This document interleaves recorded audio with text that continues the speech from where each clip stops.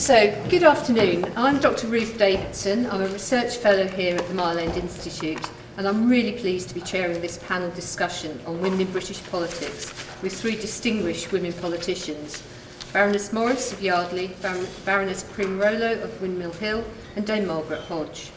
Our intention had been to have a cross-party panel, but we've had a few cancellations. But we're really grateful for our three panellists for making time to speak to us today after what has been a difficult week for so many. Now, as the discussions at this conference have highlighted, women have made progress in political life over the past decades, and their presence in public office has facilitated policy change, but not without pioneer women facing challenges and with much more still to be achieved. And I can think of no better group of panellists to consider these issues, given their wealth of experience in local and national government. Estelle Morris was a Labour MP for Birmingham, Yardley, between 1992 and 2005. She was made minister of, she was made a minister in the Department of Education in 1997 and made Secretary of State for Education and Skills in 2001. She was raised to the Lords in 2005 and now amongst her many voluntary activities a lot concerned with education. She was appointed President of the National Children's Bureau in 2005. Dawn Primarolo was elected as Labour MP for Bristol South in 1987.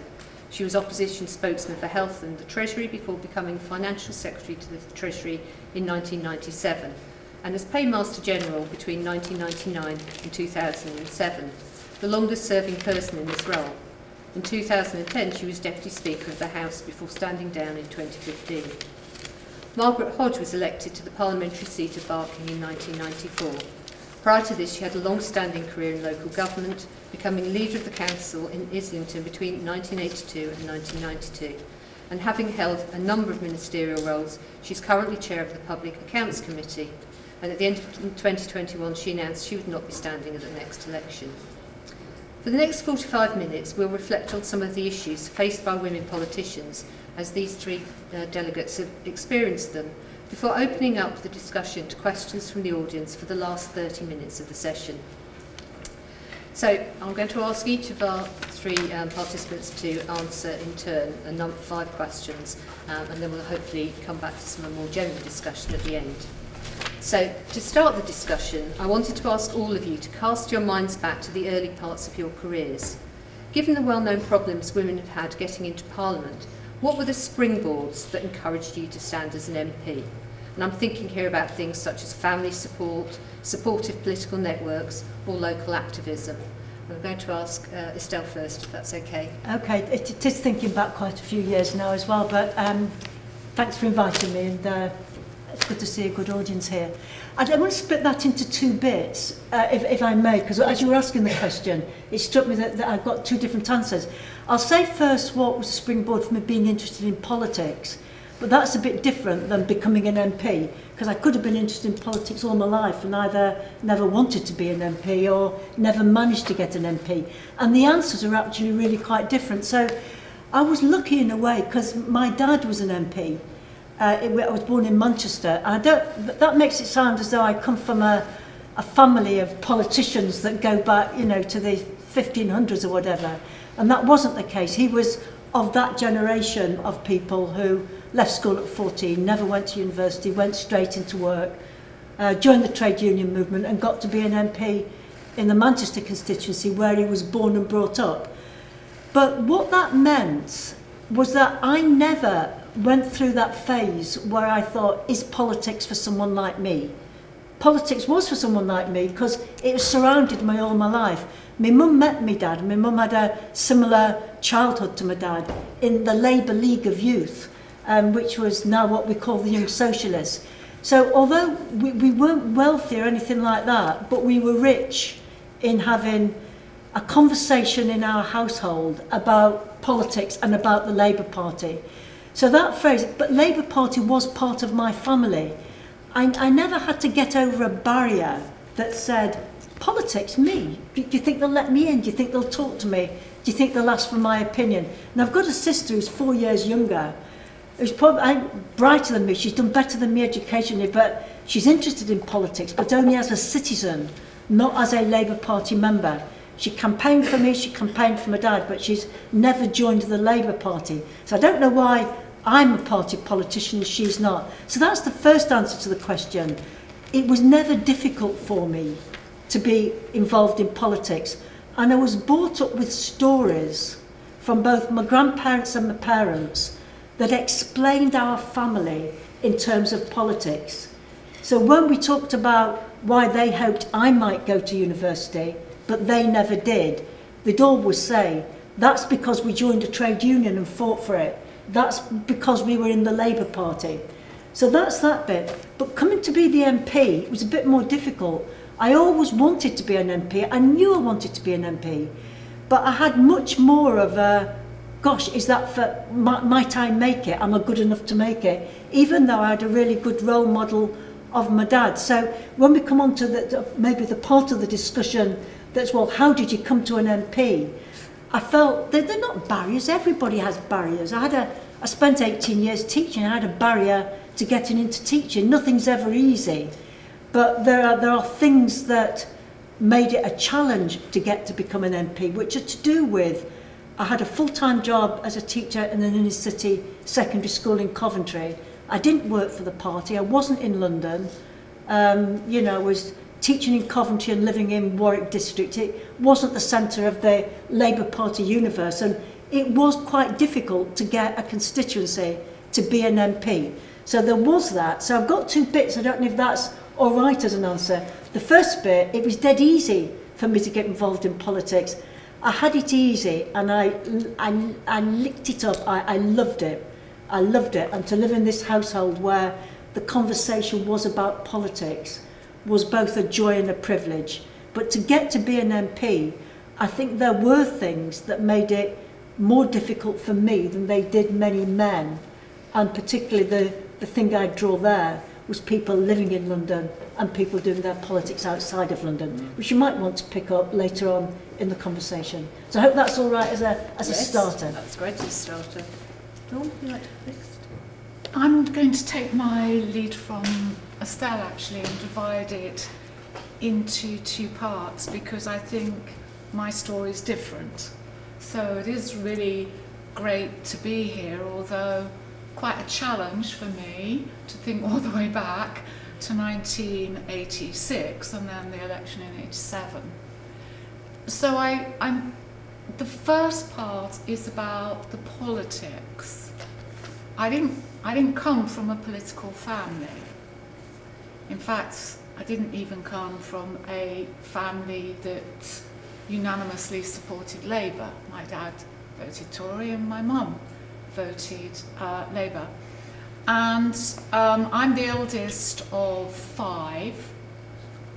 And uh, when I was lucky enough in those days to be able for my parents to keep me on to do my A levels, but not, be, able, not to be able to fund me beyond that to go to university, I had to go out to work. Uh, it's not a bad thing to go up to work. That did sound like I was making it a negative.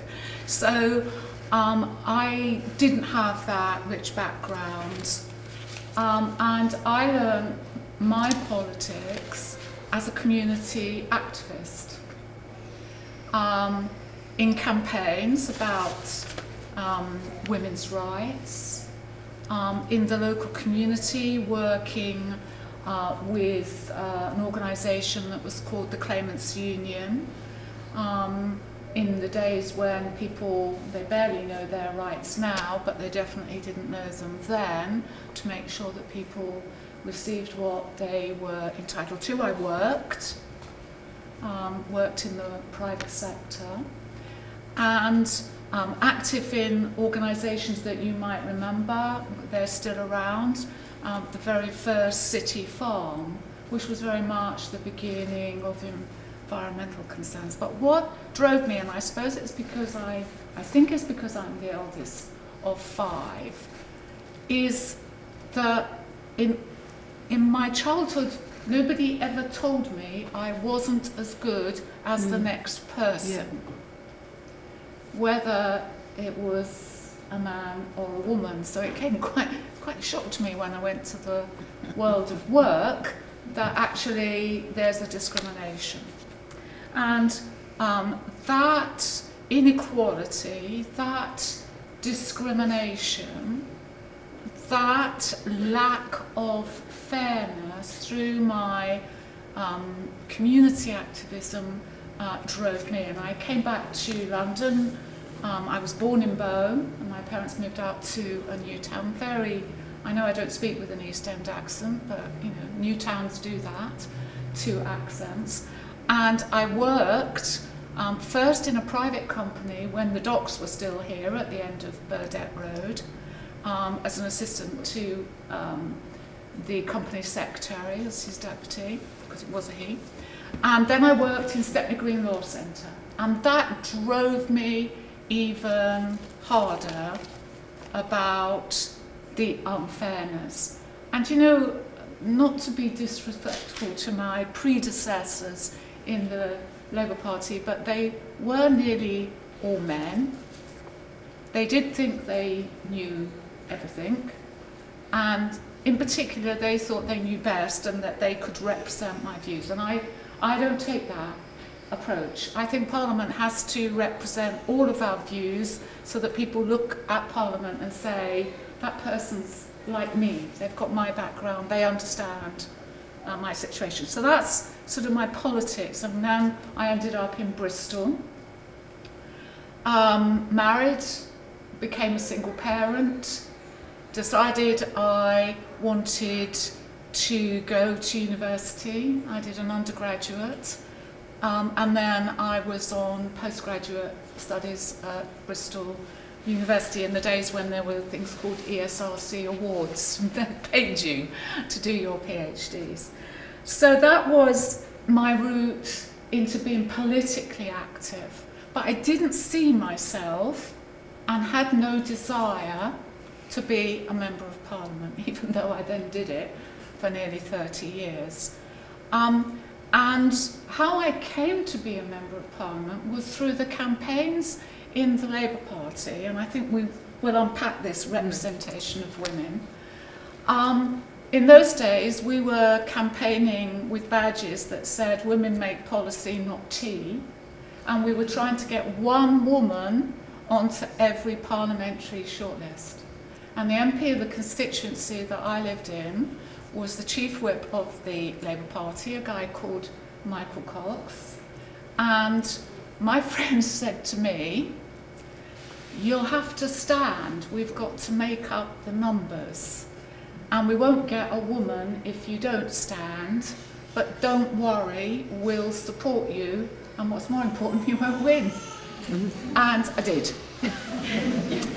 and uh, then I think going on to some of your other questions which we can unpack, which is so what support mechanisms were there for me as a single parent? Um, how did I balance those things? Um, but all through my active years in frontline politics as a councillor and then an MP was to understand, to value everybody's view even if I don't agree with it, to draw on people's experience to develop policy, and if you can't explain it, don't do it. So that's sort of, and that came from my community um, activism as well. So quite a different, but nonetheless important route in, in terms of the breadth of what makes up Parliament, I think. Margaret, we're learning everything. We're learning stuff about ourselves now with each other and the friends. Well, I- I've known each other for 30 years. I know we, we are of a different generation, so I think what we're telling you is is uh, very different from what you hear from Yeah. women who are coming in now. And I Yeah, think we've got to it's a very say that. important point. Um, uh, I'm the third of five, actually, Dawn. So, Oh, wow. so I'm the rebel in my family, which is how I always explain myself. Uh, the middle, the middle child is, is often the rebel. uh, and um, uh, come come from a family. I was kicked out of, I was almost kicked out of home, in uh, when in my when I first voted in uh, the 60s because I, I voted Labour and uh, uh, the La Labour Party was going to nat nationalise steel and my dad worked in the steel industry so literally he kicked me out of home for a couple of days for, for misbehaving. How did I get into politics? I, I got in uh, we weren't a particularly political family, but uh, we, uh, I was a rebel. And I just got in through political activism. So my early um, activism was through uh, CND. Um, uh, you know, uh, I was selling the CND paper at the age of 16 outside Foyles on a Saturday and going on those marches. And then I was active in the anti-apartheid movement. So I was active in those national movements. Um, I, was, I, I was a very, very early feminist. I went to the very, very early, um, what were known as consciousness raising days in, in the 60s with a woman called Sheila Rowbotham uh, uh, in Hackney. Uh, so I, I went to those, uh, to, to, to those, and feminism has always been an important part of my life. Um, I never wanted to be an MP, if I'm absolutely honest. Um, I got involved in local politics, and that was through community activism. Uh, I moved into an area that was being in, in North London, which was being used to be a sort of white work, well, it used to be a working class area with a lot of controlled rent, uh, rent uh, people living in controlled tenancies, in tenancies with controlled rents, and it was beginning to get gentrified, and uh, uh, people were literally, my next door neighbour had a rat put in her, she lived in the basement without an inside loo, without anything at all, and she had a rat put in her, um, by her landlord in her home to, to encourage her to leave, and that got me involved in fighting for her, and that led to me being active uh, locally. Uh, and if I'm honest, being it's, uh, I went on to the council, I went on, you said that, I became leader of the council, and the reason for doing that was very funny. I was a member of the Labour Party, I went to Labour Party meetings, um, I had my first, I've got four children, I had my first child, uh, and although I had thought I wanted to do nothing other than be a mum, when I actually had the kids I realised it wasn't quite enough. Uh, and so I was pregnant with my second, and uh, a friend of mine, there was a famous economist who worked for uh, Harold Wilson called Kaldor. Yeah. And his daughter was, was um, active in our, in, our, in our party. And she said to me, I was pregnant with number two, really frustrated. I was doing bits of work here and there, but couldn't do my full-time job because I, it had involved international travel. She said to me, go on the council, it'll keep you sane whilst you're changing nappies. And that was really, so I got involved in becoming an elected uh, representative nearly 50 years ago now on the back of that. And I thought I'd do it for a couple of years and then give up. And I describe politics as a bit of a drug. Yeah, um, uh, so that once you get engaged, it's, you know, the, there are good times and bad times, but um, you do, uh, the good times keep you going. And it's very, very difficult to give up. I did try and give it up when after we'd lost the fourth election in 92. And then uh, moving forward to how I then became an MP, that was quite interesting. So actually, as the other, there were very few women MPs. Um, Tessa Jowell, some of you might have heard of, used to say she went in in nine, she said there were 87 and 90, yeah. 92. 92, I thought she, I, I may be wrong. Anyway, she used to say there are more people whose first, more male MPs whose first name is John yeah, than there are women MPs in Parliament. So it's not that, I know it feels a long time ago for you, but that's uh, quite, a, quite a thing yeah. to say. So I have never wanted to become a member of parliament. I love doing local government. I love being in the. I love the change that I could uh, uh, create in, in, in the area in which I lived. I didn't like the pomposity of Parliament. And I just thought I, it wasn't for me. I preferred to uh, do, I'm a doer, uh, as indeed are both my colleagues here, but I didn't want to get involved in politics in, in Parliament. And then I'd given it up for a bit. And the predecessor, I, I represent a city down, uh, a, a constituency down the road, and she died. And I, um, and I remember coming home from work that day after she died with all these post-it notes on my, uh, I live in a house with stairs saying, Margaret, you've got to go for it. And my heart sank because my youngest of my four children was still, she was 12 or 13. And I thought, oh my God, I'm never going to cope with four kids and becoming an MP. But I'd also then uh, and, um, decided that I'd have, if I didn't go for it, I'd kick myself yeah. later on in life, so went for it. And this is quite interesting. I'm going to tell you two funny stories about it. So I went for Barking. It was when we had just introduced a new system of selecting candidates of one member, one vote. So it wasn't done, previously it had been done through a representative uh, system of trade unions and delegates into a into the committee, into the main committee of the party at local level. So it was one member, one vote. I knew nobody in Barking except for the leader of the council who had encouraged me to stand. So I thought I'd go to the women's section. so I go off to the women's section thinking maybe I'll pick up a vote or two here and gave a spiel about what I wanted to do for Barking and why I wanted to stand for Barking. It all went fine. And then, this is East End, London, uh, 1994, the, uh, the women, and the women were mainly pensioners at that time, so they were probably people who were born in the 1920s and 1930s, thereabouts. Uh, and then I got three questions. The first was, would I change the abortion law? Because they were, a lot of them were Catholics. Mm. Uh, so I said no to that. The second one was, would I bring back hanging? And I thought, crumbs, what have I got into? It was a big uh, issue in the early 90s, it really was. uh, and I, I said, I didn't think I'd do that either. And the third question was, would I stop immigration? Uh, and that was, uh, uh, and I myself am an immigrant, I should say that. I came here when I was four or five, uh, my parents having to flee from two countries in their lifetime. And uh, so I said no to that, and I thought, oh my God, that's done for me. But actually, they liked me despite that. Maybe they liked me because of my honesty. But I'm going to tell you one final story on this. When there was a meeting of the constituency party for the final selection, and I was, um, I was the only woman with. There was one other woman. It was a very high, uh, you know, well contested seat because it's seen. It is seen as a lab, safe Labour seat, a winnable seat. So everybody wanted it, and in London, as Estelle said. So it was sort of that. It had that added flavour. And um, there were lots of men, some of whom then went on. Charles Clarke stood in then and then came up, went on to uh, get another seat and become uh, a, a leading light in the Labour Party. But I was the only person asked about my childcare arrangements. And again, that's something that happened then that just wouldn't um, actually happen today. And I think I've had a very privileged and interesting and challenging uh, existence in politics. Um, uh, and I feel really, really, really privileged to have been able to experience that in my life. Thank you.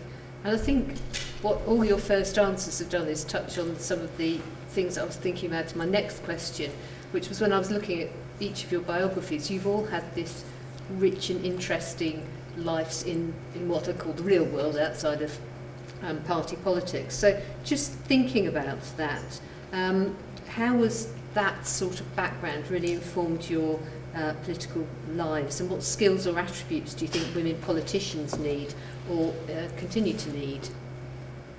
Who do you want to go? Ooh, uh, take a step first. I, I, this is a big issue and it, it's changed when Margaret made the very real point that things have changed from the era which we're talking about. We're talking about our past, where you know our young past. We're not talking about what it would be. But it's really important you understand the narrative of how we get to where we are.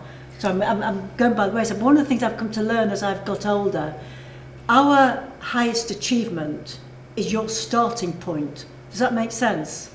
So whatever we achieve in politics is where you start, your generation starts.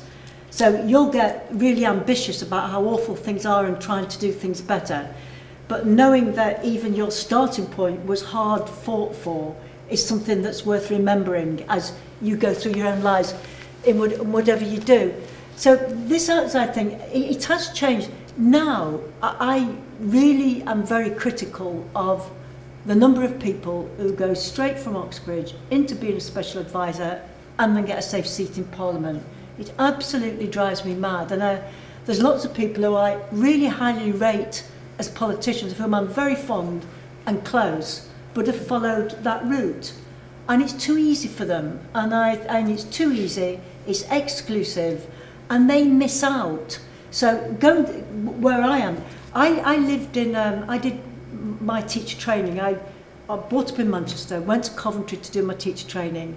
And as I think I mentioned before, got a job in inner city school in, in Coventry and I got elected. We've all got that background of other organisations to Warwick District Council. And if I'm really honest, if someone had have said to me at that time, Estelle, here's a job working with the TUC or the Labour Party in London, I'd have, I'd have jumped at it. I'd have absolutely jumped at it because it, it was what I wanted to do. And I probably even then, I think I could work out that it would give me, I'd be in the right place, I'd have a leg up. But no one offered it me, and no one was ever, ever going to offer me that. Even though, you know, I come from a family that's political, it was a northern family. It wasn't a London political family that went back generations. It was a solid northern family. Nine brothers, two of them got to be Labour MPs.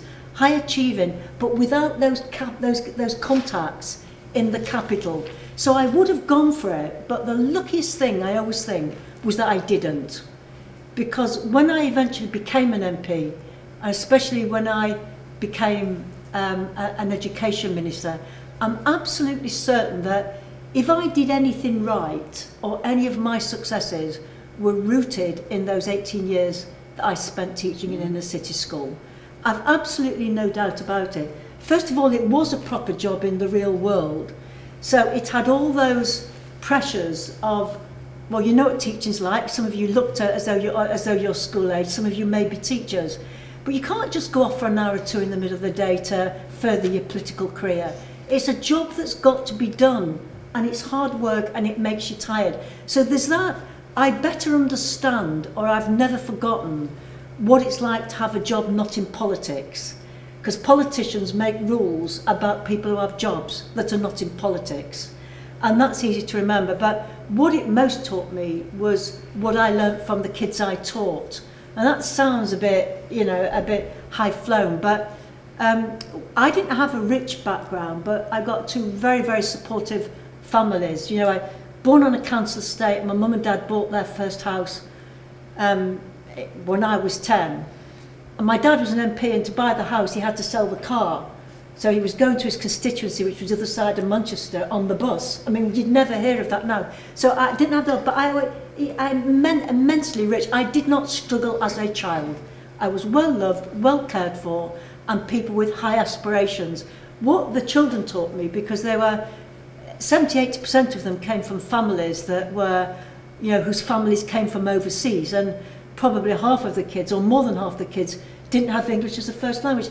And to learn about their background has formed my politics. So I knew I was Labour, I knew the theory, I'd read the history, I'd heard the stories, but working with those kids is what gave me, I don't know, the passion about it. They were the real life examples. And you don't have to be a teacher to do that. You could be in the law centre, like Dawn was, you could be in a local authority, in a rough area, like, like you were, but you've got to do something that gives you that. You've got to do, I feel really strongly about this, the fact that I did something that was more than weaving my way through Labour Party committees, trying to get somebody to put me forward for a safe seat, was the best thing that ever happened to me.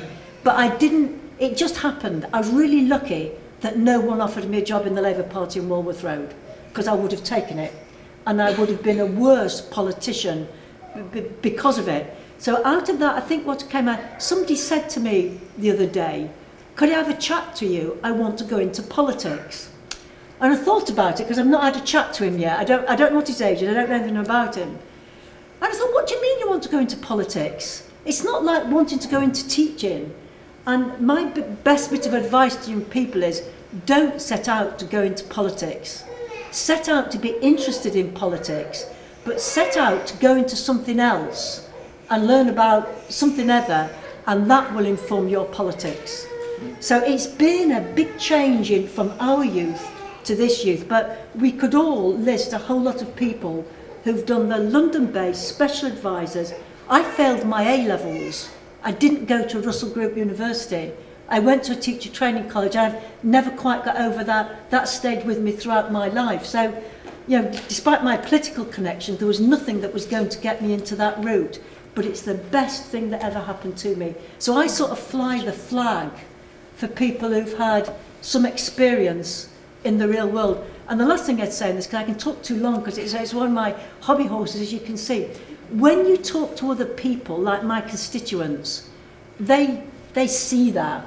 They don't analyse it, but they know it because you can talk to them about a world that they relate to. Had I gone to Oxbridge, read PPE, gone and been a special advisor to somebody, got handed a safe seat, I wouldn't have been able to do that. The bad thing is, I don't think I would have ever got a safe seat.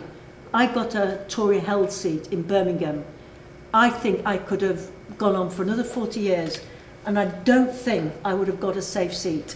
I think my route would have always taken me, being a woman, not being big in the trade union movement or anything else, I think it would have always taken me to a marginal seat or a Tory held seat. But it doesn't matter, that, that, it was great fun trying to hold on to it. So that, that's my uh, answer to that. Dawn, would you like to comment? Yes, goodness me, this is challenging and it's also fascinating because although the three of us have worked together for years, more years than we would care to remember, you know, one of the things that often happens is you're so busy doing the work, and particularly if, uh, as Estelle says, uh, both of us didn't live in London. You know, we wanted to get out of London and back home to our constituencies as quickly as possible. You, you learn lots of things about each other. I feel a bit ashamed actually, still, that I didn't know more before. But Um, well, likewise, yeah. the what do do I think? I, I agree um, with Estelle. I, I, I want to be really careful. Look, I've seen lots of colleagues who've come through um, uh, an easier route into being a member of parliament. Um, they did their degrees, they're very talented, they worked in a political office, they came through being political assistants and then found themselves as political advisors and eventually in um, a, safe Labour seat. Some of them what we call parachuted in, i.e. shortcut for them. Um, and other people haven't. And they, they were they were good MPs. But if that's the only way... They were good MPs, I ought to say that. Yes, They're I good know, I know, and talented I know ministers, yeah. Absolutely. No, absolutely. Estelle, I know yeah. you were Yeah, there, that's yeah. right, I didn't mean to suggest Um, but that's, if that's all MPs are, then we're missing, I think, we're missing something. We're missing, it's almost like a heartbeat, it's like clapping out of time. Um, and I think that what we have to learn is that life is complex and that people see the same things in different ways and it doesn't make it less valuable even if you disagree with that. And so my experience, whether it be in community activism, working in a law centre, working in the private sector, or then as um, a counsellor, meant that I was exposed to the same things, low pay, Yeah. discrimination.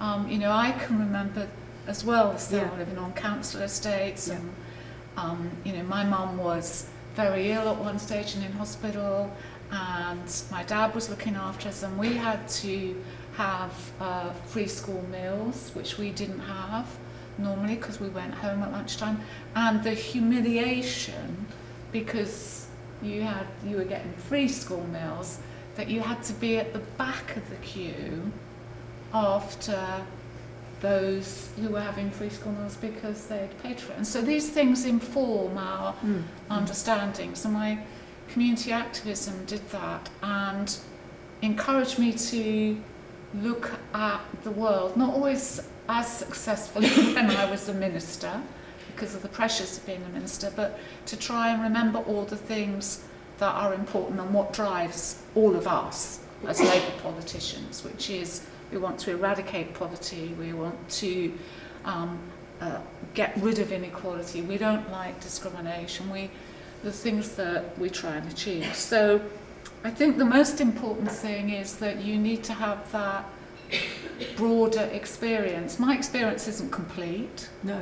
It was a part Yeah, of absolutely. that yeah. when you fit it together, I Yeah. suppose, like a jigsaw with everybody else's, in the collective and collegiate view that a parliamentary Labour Party is supposed to work as, when it's out of government or in government. Yes, Morgan, you might like to pick that up.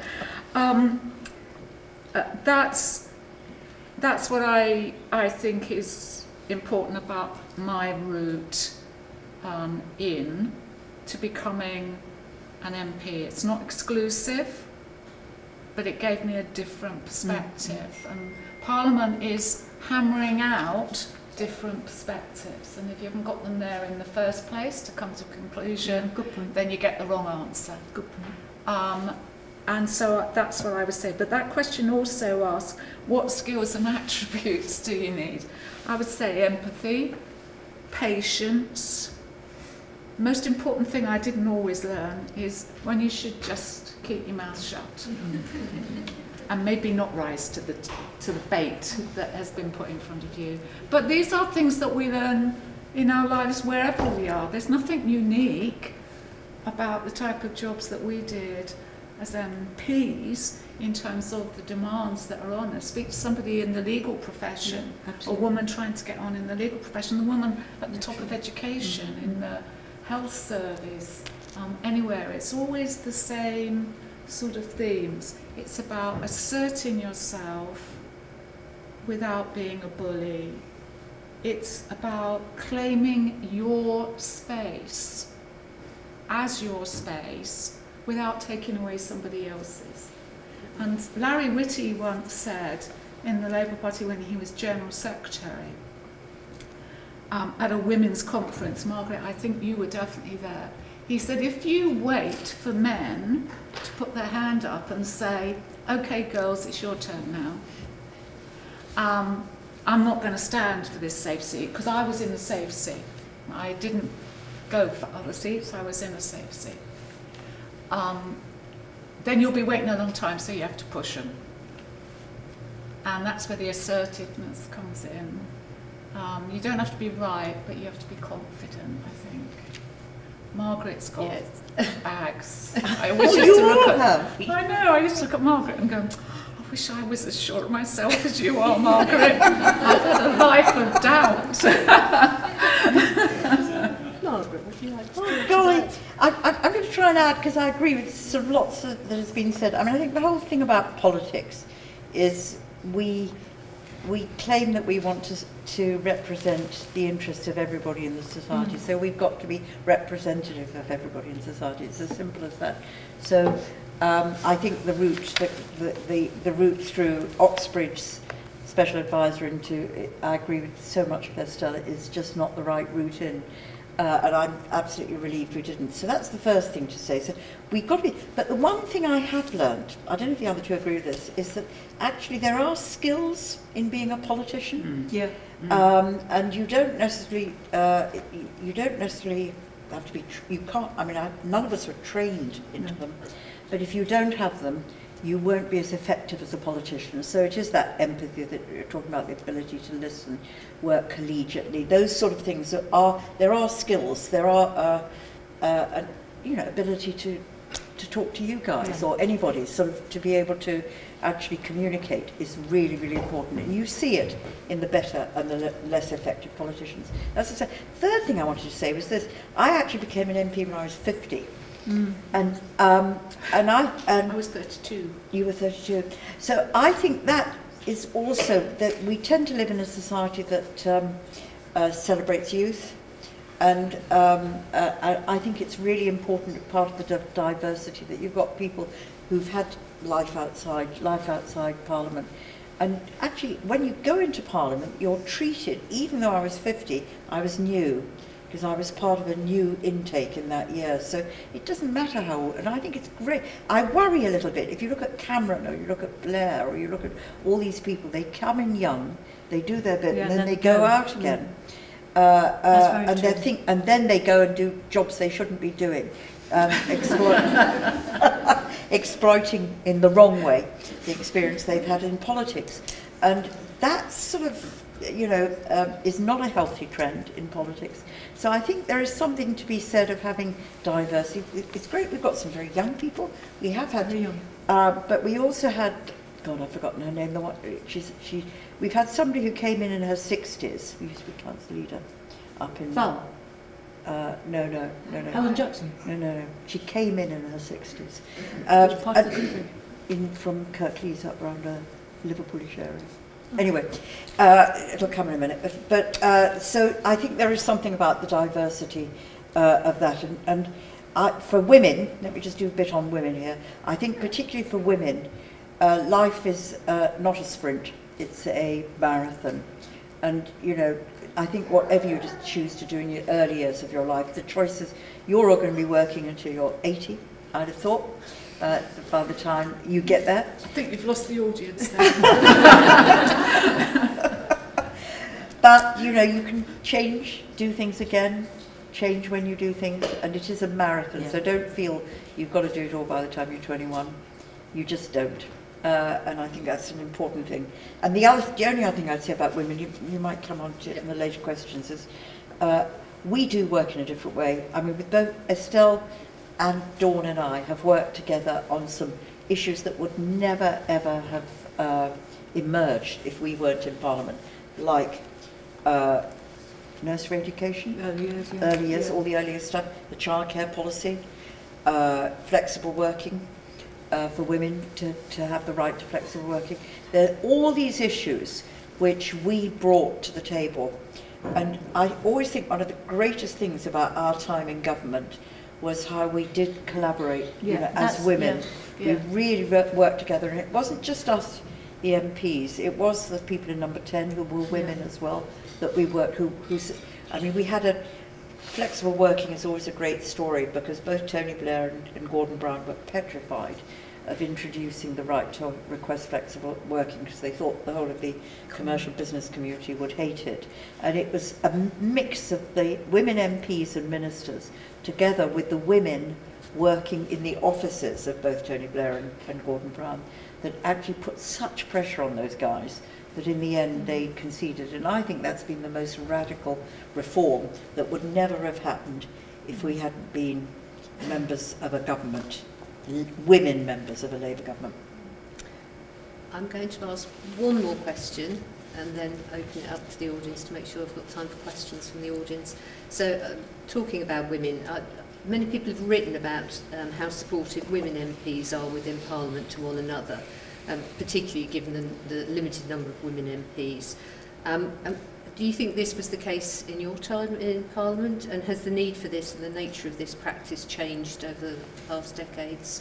I'd say, I'd say yes, very much so. I mean, take up Margaret's last point. Margaret's right in saying that there are some issues that women bring to the political table, but there's also the way of doing politics that is different. It's, not, it's a bit, it's, it's not true of everyone. That, that, that, would be, that would be silly, but I think where um, you, you've got a group of people that's got no women in. The style of how people do business um, is different than if, it, than if it's mixed.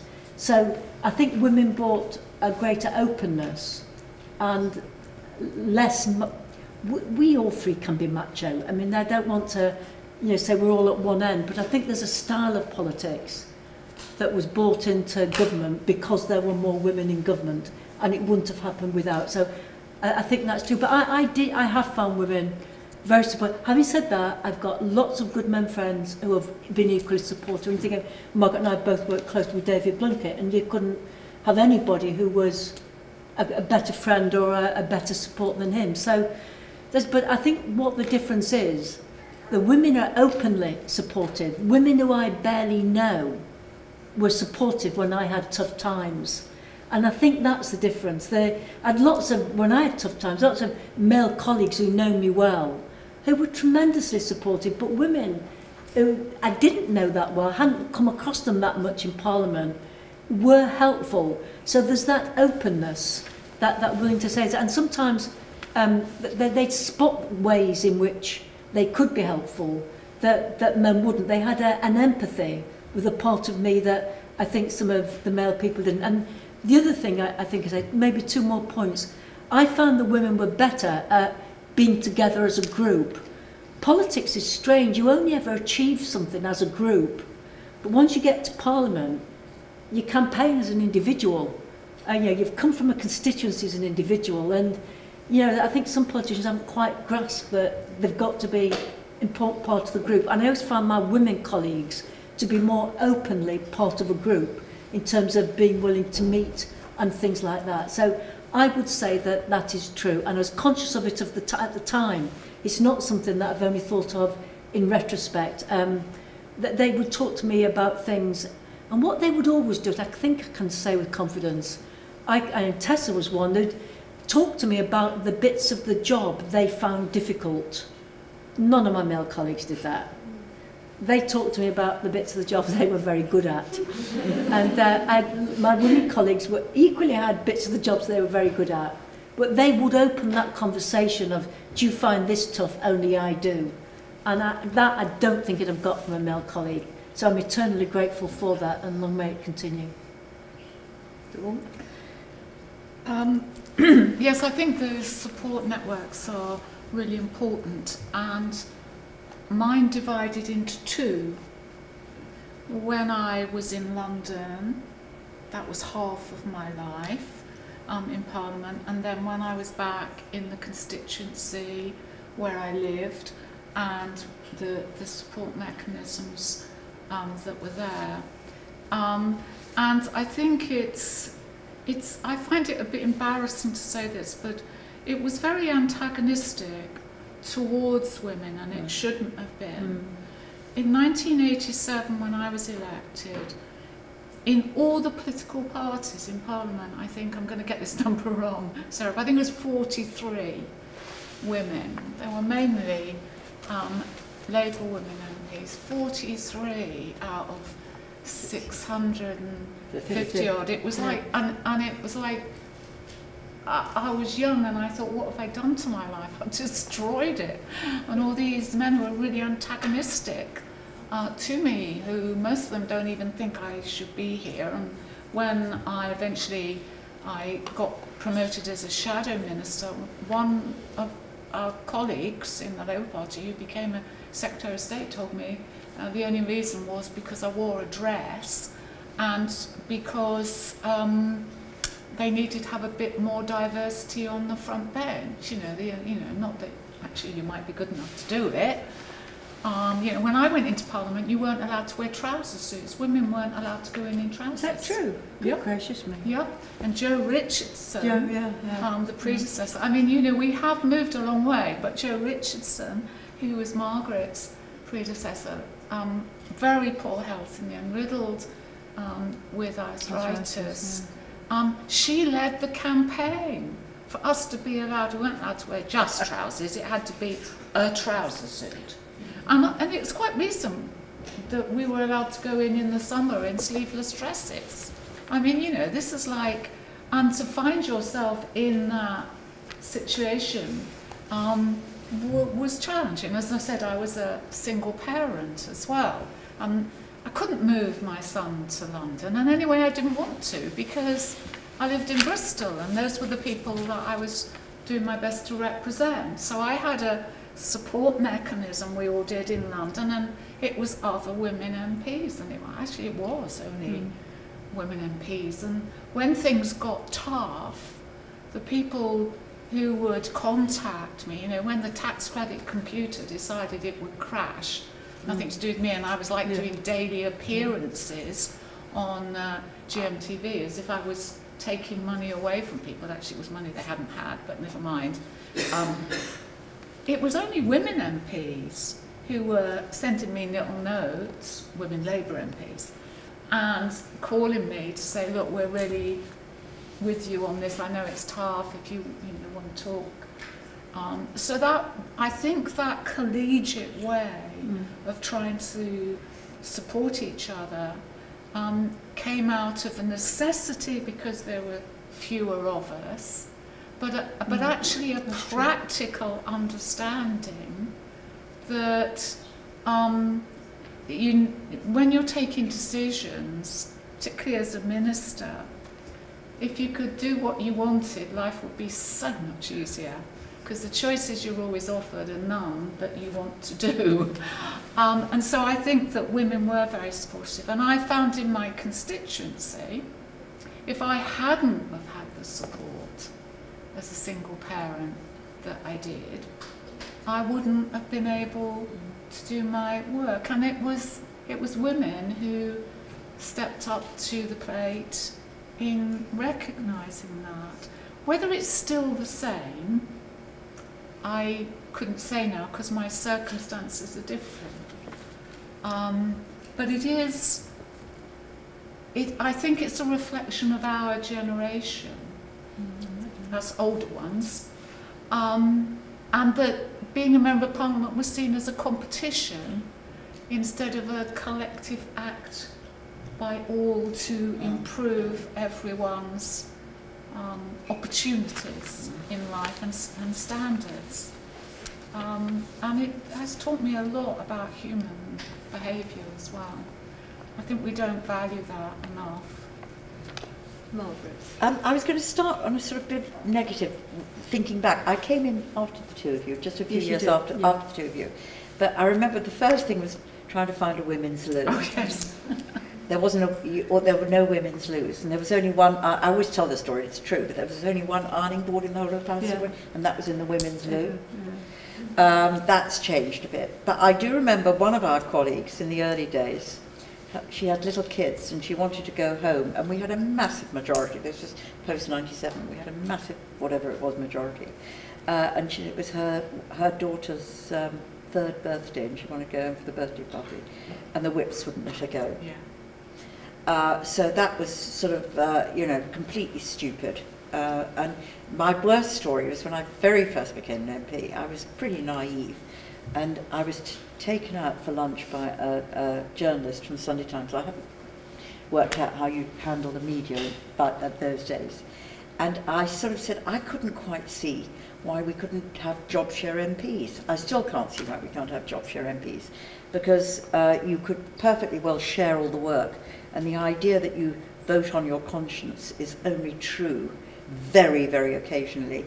On the whole, you, you vote according to your party whip. So it seemed to me a, a very good job to job share, which would make it open to more and more women. And I said this to the journalist, who then wrote it up in the Sunday, uh, in the Sunday paper, much to my embarrassment. I came in on the Monday, and I was called into the whip's office by a woman whip, and said, and, I was new. I mean, I'd probably been there three, six months, something like that. Uh, and she said to me, how, how dare you say, they put up the picture of me that was in the Sunday paper on the wall, and they were throwing darts at it. And uh, they said, uh, if, you, uh, if you really don't want the job, Margaret, there's plenty behind who would take it from you. So it wasn't great in those early days, and that was, and that was women against women as well. So it wasn't always that No, not all the women were, were um, uh, supportive of their women colleagues. So that sounds crazy, doesn't it, today? but if I can fast forward to today, and it may be that, you know, Labour's not in government and I want to still get things done, and uh, uh, as indeed would the two of you, you were, if you were in the House of Commons. And so now I work really hard with women across Parliament, and there is a real sort of, uh, uh, you know, se- sense of togetherness with the women. Nearly all, not all of them, but with most of the women across Parliament. And we can and do get changes by doing that uh, uh, work across Parliament. Uh, and that, that is a change. For me, that is something that is much, much more.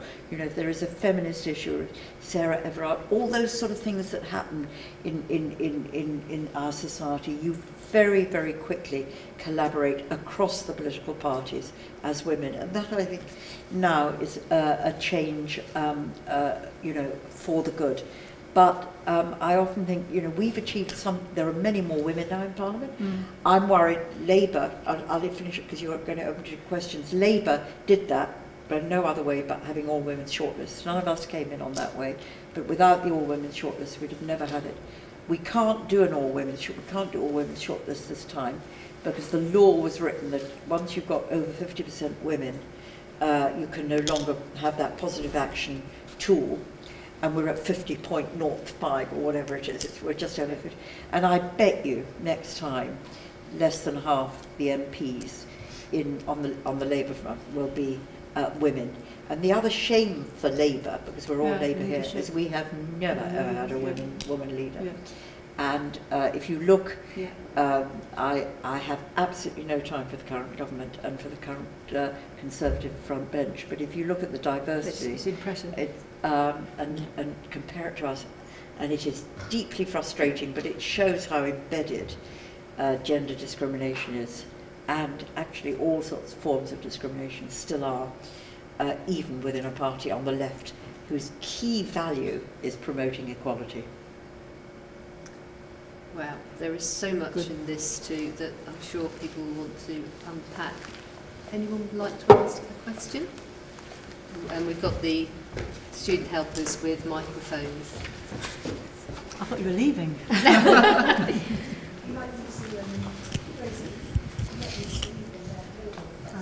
Yeah? All right. Right. Oh, plenty of questions. This is all the worry everyone. It's actually about the young people, in a way. So, but please, um, thank you very much. Um, I, I've, you know, very, very illuminating and inspiring and moving. Um, uh, thank you for sharing um, those experiences with us. Um, I was actually ex- exactly about the young people, in that um, all of you have come through, you know, very different routes, but many similarities. But probably at later stages of your career have, have confronted the great deal of hostility and bullying and and and all the um, you know the toxic environment that social media has created, um, both around issues of gender and, and, and your various positions on, on certain issues. Um, how would you encourage younger women um, to come forward, given that actually the the dangers are different but equally uh, uh, challenging and equally daunting, uh, especially for women politicians? Who would like to take that first? Well, it, is, uh, social media is horrific. And I, uh, um, I have recently been involved in a fight in the Labour Party against anti-Semitism on the left. And there was a two-month period uh, between uh, the publication of the HRC report and um, the settling on, on Jeremy Corbyn's status, if I put it that way, where I got 90,000 mentions. I mean, I don't even look at them myself. They're, they're, they're vetted, they're looked at by um, a Community Security Trust. And, but I look back to when I was first on the council in Islington, and I well remember we were, I was, I, I, in those days, councils ran in a different way. There was a committee system, and uh, you chaired the committee, so it was a much more democratic way of running local authorities. And I was chairing the housing committee, and we were pull, we were rehousing everybody from a block uh, to do it up. And there was one guy who decided this was deeply unfair, and the policeman knocked at our door and said he was, this guy was out with an axe and he was going to kill me with his axe. So this was 1976. And I do remember it because I'd given up smoking and I immediately went back to smoking again. that was my response. So if you're in the public, if you take a public role, you get a, you you open yourself to uh, those challenges, and 'twas ever thus. There's a bit of a 'twas ever thus, although the intensity is greater now. And I think I learned to cope with it in local government actually, uh, whereas you realise it's not the real you. You know, they're not. They don't know me. Uh, papers who absolutely lambasted me in the 80s. I be- then became their darling, and when I chaired the Public Accounts Committee, completely I'm the same person doing the same sort of things, but it's just a, and it because they don't know me, and they just had me in one box in one place and then another box in there. So I think there's a tendency. It, it is awful, and we should do all. And I'm, you know, we've, we've now got an online harms bill where we're working really hard to try and uh, get the uh, uh, the providers to, to, to sort themselves out and really stop all this abuse online, help stop the abuse. They'll never stop it really. But I think you've got to develop a, a sort of persona which recognises that that's not the real me. I sort of talk about compartmentalising. Do you remember I used to talk Mm, about mm, compartmentalising your life? And in the end, through politics, you can achieve fantastic change. And if you have those values that, you know, you want to change the world and make it a better place, which we all share, there, there is no better way of doing it than doing it through politics. So I think you've got to develop that separation between who you are, what you believe in, what you're trying to achieve, and this sort of public persona, which is nothing really to do with you.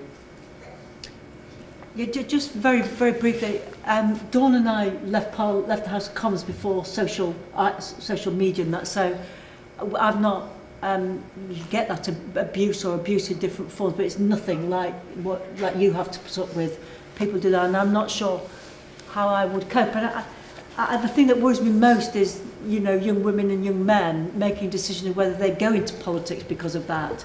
And I really, really, really hope that it wouldn't stop that because hopefully we will learn to take the advantages of social media and um, but not treat each in that way. But Mar Margaret's essentially right. It, it does come with the job and there's a bit of, you have to learn to live with it. My only worry, the only extra thing I wanted to add is that when I was an MP, I used to worry about learning to live with it because I always had this theory, and I think you just got to avoid it, that if you, uh, if you got, grew a thick skin to learn to live with it, you desensitize sensitize yourself to the things that you should be sensitive to. So what you're trying to do is remain a sensitive person so you can get politics right, but have a, a hard edge to, a, hard, a you know, hard edge that protects you from the unfounded abuse and is wise enough to know when the criticism is justified and you should learn from it because not all criticism isn't justified. And I remember one very, very senior politician said to me when I asked him how he dealt with it, he says, Estelle, he says, and it was the same thing as you, Mark, he said, I, I picture that I've got a case around my, around my, my, my head, my face, and when they kick and when they throw things at it, it's that that they're damaging, not me beneath it. So I think, and you can't learn it now, you learn it through experience. To keep your sensitive bit, don't stop feeling. I think that's the key. But have a, learn to understand, I think you've put it very well, Margaret, it's not the real you. you you- you're still the other person.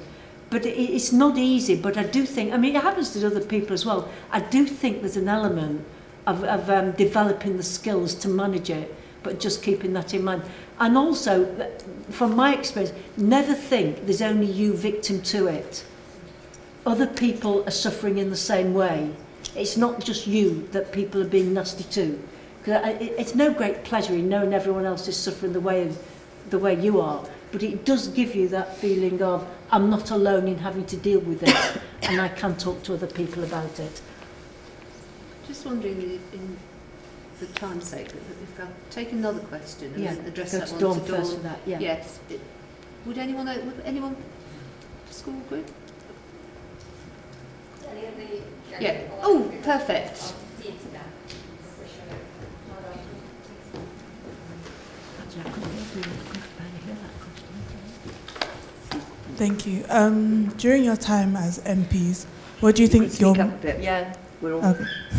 during your time as MPs, what do you think the most positive change you've incited What the most positive change for your constituencies? Yes. for our constituencies?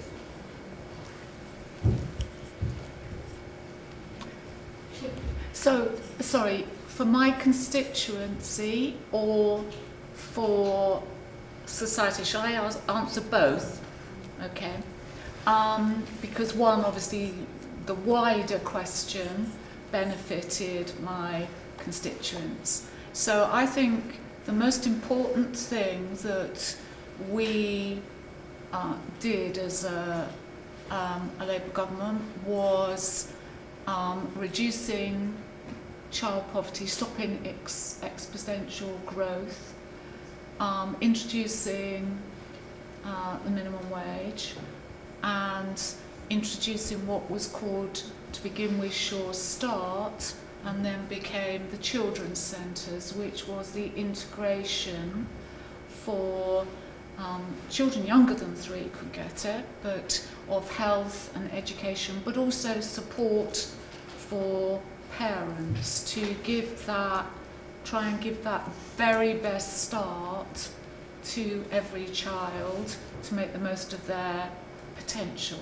Because actually we throw potential away because some people have privilege and are able to develop their potential. So I think that in terms of um, what I feel uh, there, there's lots of things, but I think I would I would focus on that and that we did it um, as a government focused on delivering across government, every department. I was a Treasury Minister then.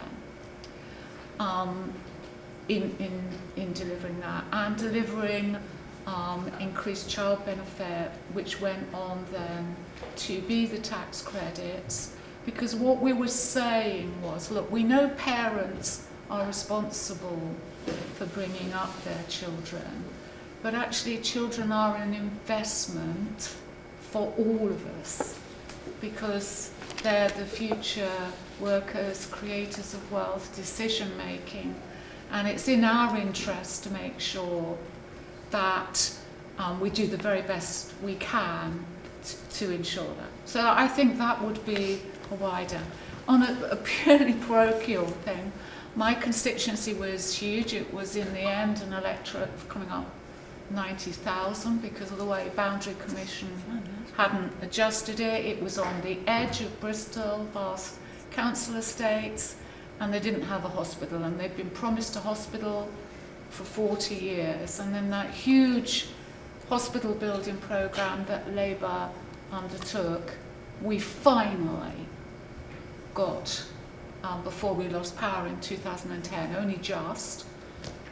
That constituency's got its own hospital that's integrated into the big teaching hospitals. And so, you know, my ex-constituents don't have to go miles and miles and miles on a transport system that doesn't exist, so they have to pay for a taxi that they can't really afford in order to get their child to an A&E when they're desperately um, ill. So, so I think if, if I was to say that's what we achieved, I'm really glad, and I hope nobody is going to ask me, so what did you get wrong? Because actually, there, there's quite a bit of that as well. but that's what I feel was the biggest contribution, and it's all it's been turned back mm. now. We thought it wouldn't, mm.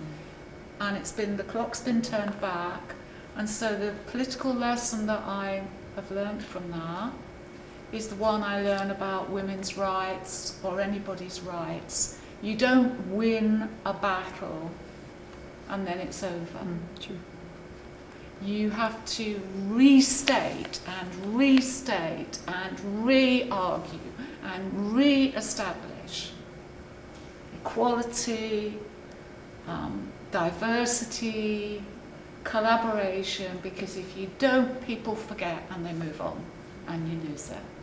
And that democratic project, mm.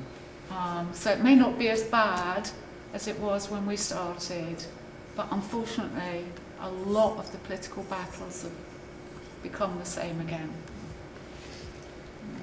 How are we doing for time, Lindsay? Have we got time for us? Yeah, one more question. Who else would like to ask a question?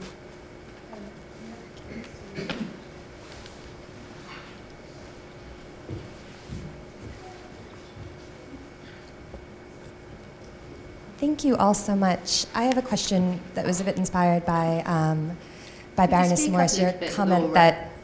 Sorry. I'll just um, your comment that when you said we left, I left Parliament, and then you corrected and said I left the House of Commons. But I'm curious about um, the gendered political culture of the House of Lords, and if there are ways in which it differs from that in the Commons. If two of you who are now sitting in the Lords would like to speak to that. it wasn't an intentional correction. I can't even remember doing it. Um, the, the House of Lords is weird. It, this part is split. It's absolutely divided. Strangely enough, it's very, very diverse um, because it's by appointment, not by election.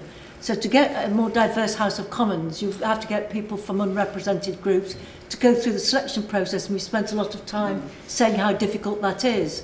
And it's not, it's not been easy. It's not just women that it's not been easy for, it's not been easy for people of colour and for people with disabilities and for the age range. But in the Lords, there's appointments. So in all honesty, if you look at the statistics, or when I look round the chamber, there's a lot of people from different faiths, of different colours, of different abilities and disabilities, and a far greater range of occupational backgrounds in terms of science, the arts, culture, uh, apart from the, the normal people represented like education, social sciences and academia. So it's good. But where it is, that's, I've just described part of it to you. And there's some members who are really, in my mind, you know, represent the Lords how it used to be, not how it should be now. And the, the, the two go, it's like, I look around, it's like it goes side by side. So at its best, with the people who use it best, I think it does an excellent job. But there are too many, it's, there's too much of it in terms of its customs, its practices, its atmosphere and its membership that doesn't join in that, that reform. Does that make sense? Um, so it's really weird. Whereas I wouldn't describe the House of Commons in that way. As it's, as it's evolved and modernised, it tends to have done it, as, not saying every individual, but it tends to have done it together. But I find you know, I can spend my time in the House of Lords with people who are really, there's some brilliant minds and there's, I think the quality of debate's better, I think the quality of speech is more learned, but that is not true of the whole of the institution. And it lives side by side, which I find, I find a problem in my mind to come to terms with, uh, and equally to justify. Yes, please. Um, I think that there's an interesting case study now um, about how the House of Lords works. So the House of Lords is a self-regulating chamber. So in, in the House of Commons, if you want to stand up and ask a question, you might have a, a named question, but then the supplementaries um, are the speakers try and take them fairly. They take them from all sides of the house and they're trying to, they name the person they're going to call to speak and you try and balance it out. It's quite a complex Yeah. mathematical sort of spread. You're trying to get the gender balance right, you're trying to make sure regional, somebody who's got a special interest in that question. What happens in the House of Lords is that it, you have to stand up and keep shouting. It's a My lords, my lords. What a nightmare. And um, it's, it's quite confrontational. I personally don't like it. Um, and I'm not a wilting violet. I'm not, you know, I can be as combative as I need to be. I just don't like it. It's terrible for women, Dawn. Now, that what happens exactly, and a lot of women don't want to, and when you get to speak. Now, the interesting comparison is this in lockdown, Yeah. during COVID, we went into hybrid. So we were all on our computers in our homes because we were lots working from home. And now, obviously, that might have some down points, but what it meant is you had to apply to get in on a supplementary question, and you had to apply to speak in a debate, and then the whips of the political parties had to share it out fairly. And what you saw was the participation of women in that chamber went chock, straight up. That's very true, Dawn. And it Very would be true. really interesting now, Sarah, post um, lockdown, because then there's been this big debate in the House of Lords um, in the pride of us being, for some people, self regulating, which means they don't really want any um, process. I'm not going to call it control. Um, and so we've gone back to how we were. And what's happened to the participation rates then? And I think it gives a very good, potentially, case study on how women in particular work and what they tend to just want to avoid. It's not that uh, we, we can't mix it with the best of them, it's just not necessarily our style. Um, and so I, I, I think that if you compare and contrast the two way the two chambers operate, I think it's, it says quite a lot about women's participation and the choices women make when to participate and when not to. Margaret, would you like to add anything to that? Um, I know you're out Well, I, there. I, I, I've learned something. I didn't realise that's what you did in the House of Lords. Terrible. But uh, I couldn't possibly comment. um, uh, the only thing I would say about the House of Commons is um, it is still. I, I find that I don't like the chamber. It's probably back to my I don't didn't don't didn't don't, don't like that pomposity, and I have seen a change. I've now been in the Commons for nearly 30 years, and when I started, you know, there were there were big issues of the day. You'd go into the chamber because you knew you'd be Yeah. hearing a really good. Uh, uh, important speech. So whether it was Northern Ireland or whether it was 9/11 or whether it was the big crash or whatever, you know, you had these Robin Cook Yeah, resigning brilliant, over yeah. Iraq. You heard really, really good, big, important speech. Now it is Bullington Club. It's horrible, and uh, they just uh, uh, and so it has become more male. I think than the, when you guys were there. Uh, because they just, it's very personal, it's abusive, it's sort of, and uh, it's not strength of argument, it's strength of voice. And um, uh, I, I just hate it. And you know, there are times when you think you've, we probably had better, slightly better contributions, ironically, over the death of the Queen than we've had on any other issues. Isn't it appalling that one has to say that? But probably that, I think that's true. And we'll have to wait and see whether you know, Liz Truss makes a difference in that it's a woman uh, Prime Minister. Um, but um, it is very macho. And where you get the good debates are outside in the committees, Yeah. where it's much more collaborative and less competitive and people will listen to each other. So I think actually probably it was better when you were there than it is now. Could be anything about my chairing of the chamber. It might well be. It might well be. Did I hear the honourable member make a sexist comment? Yeah. If so, you will now withdraw it. on that note, uh, thank you so much, all three of you, for coming along. You've all responded to the questions so personally and thoughtfully, and I think it's made such a powerful session. So can we all just join in and say thank you?